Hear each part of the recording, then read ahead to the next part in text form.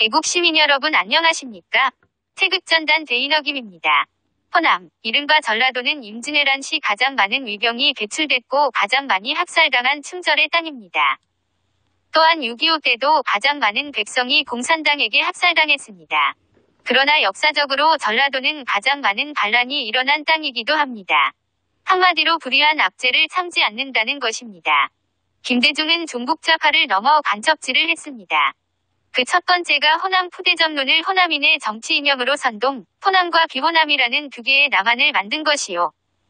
그 두 번째 간첩질은 북한의 천문학적인 국민 열세를 퍼다주면서 북한 김정일은 핵개발 의지도 능력도 없기에 북이 핵개발을 하면 자신이 책임지겠다고 사기친 것입니다. 이제 남한은 북한 공산당의 의도대로 두 개로 갈라졌을 뿐 아니라 호남 권력이 정권을 잡아 북한의 종노릇을 하고 있습니다. 6월 13일 개헌선거를 통해서 북이 시키는 대로 연방제 통일로 이 나라를 북한 살인마가 통치하는 공산국가를 만들려는 사악한 계획이 착착 진행 중입니다. 이제 국민이 깨어나지 않으면 수천만 명이 학살된 40년 전 월남공산화와 보트피플의 이야기는 이 나라 이백성 우리의 얘기가 될 것입니다. 이 중차대한 시점에 전라도 순천 출신 육군 3사관학교 1기생 용기 있는 장교님의 시국선언을 듣고 온 국민이 깨어나길 빕니다. 성명. 대한민국 운명줄 어떻게 가동되나? 북한은 전라도를 매개로 대한민국 통치하고 있다. 결론부터 말하자면 대한민국은 전라도를 매개로 하여 북한이 요리하고 끌고 간다는 사실을 모두가 음미해야 한다. 북한 대남 사업부에는 전략 전술에 능통한 전문가들이 수십 년간 한자리에서 일하고 있다. 이들이 찬 전략은 가히 천재적이다. 북한은 전라도를 왜 선택했는가? 역사적으로 방골의 기질이 농무한 지역이기 때문이다. 북한은 이런 전라도 사람을 세뇌시켜 북한 추종자들로 만들었다. 이들을 호남형 우회 조직 우호 담당 세포 조직을 통해 단결시켜 선거 때마다 전라도 뭉치표를 가지고 모든 정치인들을 정복하는 방법으로 한국을 끌고 간다. 전라도가 모든 정치인을 표의 노예로 지배하는 원동력은 5.18이다. 5.18이 지배하는 구도에서 모든 정치인들은 전라도를 상전으로 모신다. 이 노예적 정신적 구조는 분석에 의해 형성된 것이 아니라 맹목적으로 형성된 것이다. 전라도에 거역하면 언론의 문매를 맞고 집단 폭행을 당할 수 있다는 노예근성이 잠재해 있다. 문재인 등의 팔갱이들이 중국을 맹신, 맹종하고 있는 것과 같이 한국의 모든 정치인들은 호남의 맹신, 맹종하고 전라도의 표를 구걸한다. 전라도에 98%의 단합된 뭉치 표가 없다면 전라도에 국실될 이유가 없다. 전라도 표로부터 독립하려면 5.18 사기극부터 파 밝히고 맹렬하게 공격해야 한다. 전라도 사람들을 오만 방자하게 만든 것은 두말 할 나위 없이 김대중과 5.18이다. 김대중과 5.18은 두 개의 객체가 아니라 한 개의 동전을 이루는 앞면과 뒷면이다. 김대중을 격화시키면 5.18이 무너지고 역으로 5.18을 무너뜨리면 김대중이 무너진다.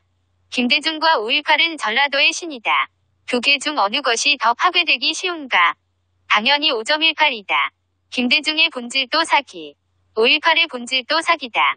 두 개 다 사기이지만 5.18이 사기극이라는 것을 증명하는 것이 훨씬 쉽고 파괴력이 강하다.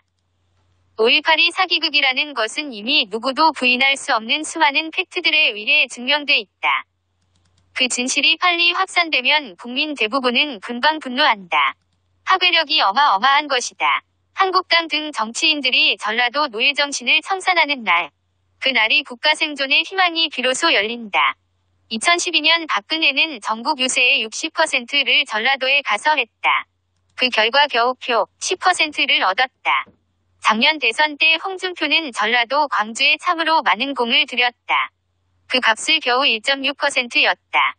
지하에 흐르는 정치 메커니즘을 이해하지 못하고 순진하게도 공만 들이면 표가 오리라고 생각했던 것이다.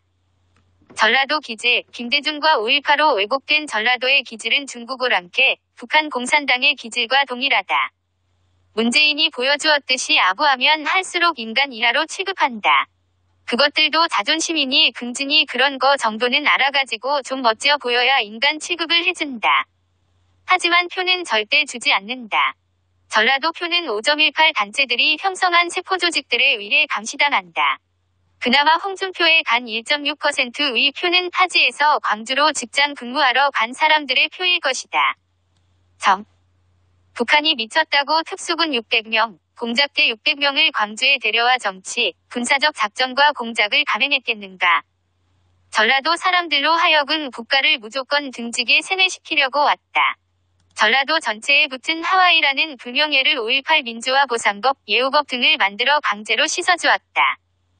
수많은 유공자들을 만들어 일의 집단을 확대함으로써 그들로 하여금 그들의 이익을 위해 투쟁하도록 만들었고, 종국적으로는 북한이 전라도 전체를 지휘, 통제하는 전라공화국 총독부 역할하게 만들어 주었다. 야당이 노골적인 반, 전라도 세력 형성하지 못하면 절망적이다. 대한민국의 코를 꿰고 있는 이 흉악한 굴레를 하루빨리 벗어나지 못하면 한국에는 희망이 없다.